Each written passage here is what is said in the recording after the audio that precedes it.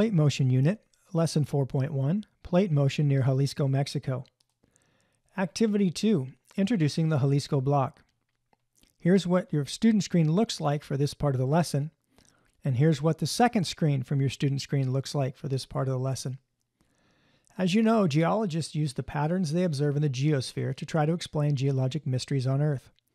In the next few lessons, we'll use what we know about plate motion to determine what's happening in the Jalisco Block, a section of the North American plate. Students, let's read the message from Dr. Moraga. Thank you so much for all your help with our Mesosaurus exhibit. I've submitted your work to our museum's exhibit builders, and they are getting started building and painting a display that tells the Mesosaurus story. You've done a great job helping us communicate how the Mesosaurus fossils got so far apart. I just got an email from a colleague who lives in Guadalajara, a city in Jalisco, Mexico. Jalisco is a state located on the North American plate. This is an interesting area to geologists because it's near many plate boundaries. Many people live in this area of Mexico. I told my colleague about your great work for us here at the Museum of West Namibia, and she wants your help to explain the geologic activity in the area to local residents. Geologists can't agree on how plates are moving in this area, the data they've collected doesn't point to one clear explanation. We need your help considering the evidence about plate motion in the area. Scientists are particularly interested in this area because there are so many plate boundaries there. The Jalisco Block is a small section of the North American plate. Based on the evidence you'll consider in this chapter, you'll learn why scientists do not agree on what is happening with the movement of the Jalisco Block. What is the Jalisco Block? In geology, a block is a small section of a larger plate. The Jalisco Block, named for the state of Jalisco, Mexico, is part of the North American plate. The Jalisco Block is located in an area where many plates meet.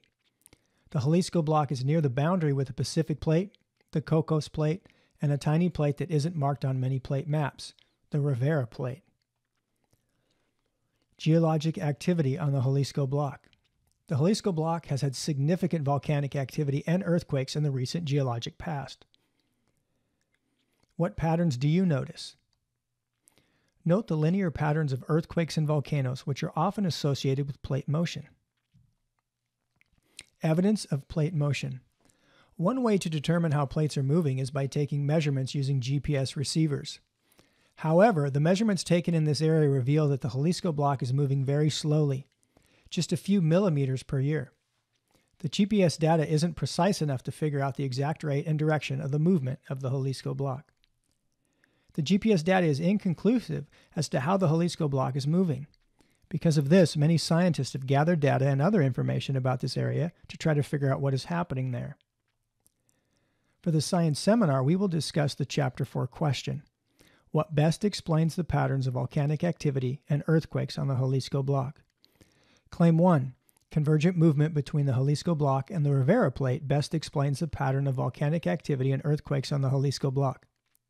Claim 2 Divergent movement of the Jalisco block away from the North American plate best explains the pattern of volcanic activity and earthquakes on the Jalisco block. These are authentic claims that are to explain something that is unknown. These claims are currently being debated by geologists in the scientific community. The science seminar question and claims closely relate to the key concepts about the rate of plate motion that we posed in Chapter 3.